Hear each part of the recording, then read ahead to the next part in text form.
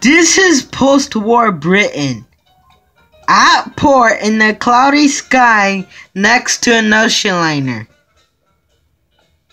Puff and smoke. Post-war Britain, everyone.